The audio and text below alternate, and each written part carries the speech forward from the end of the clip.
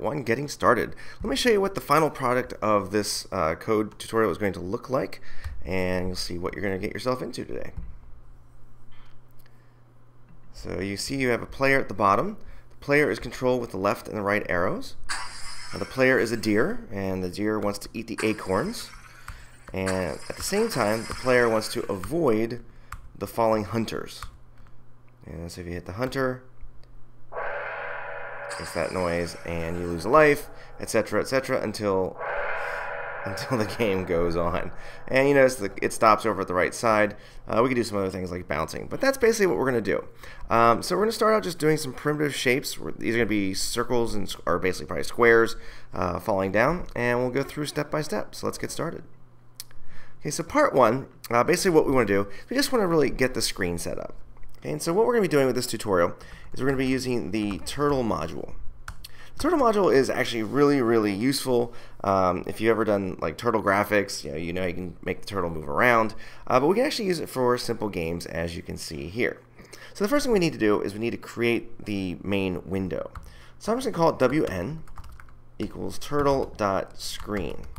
Now notice screen is capitalized.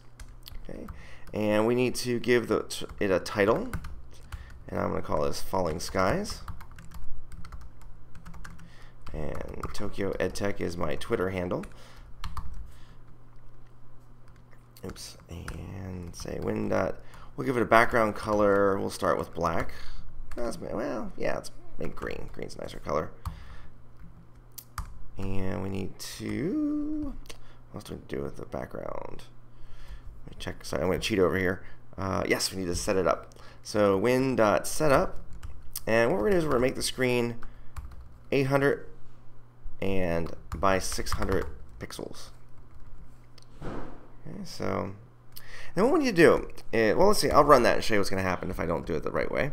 So I'm going to run this. Now I'm using Visual Studio Code on a Mac. Now you notice you saw the little green window flash up. Uh, and down here there's no error message. Okay, so basically what happened is the program ran, then the program ended. So we need to add at the end wn.main loop, and this will keep the window open. So I'm going to save that, I'm going to run it again. And you can see we've got our basic window. So that's really all for part one. Just get to this point, make sure your window's set up, everything's working, and then next we'll go ahead and add the player to the screen. Okay, hope you come back. Thanks.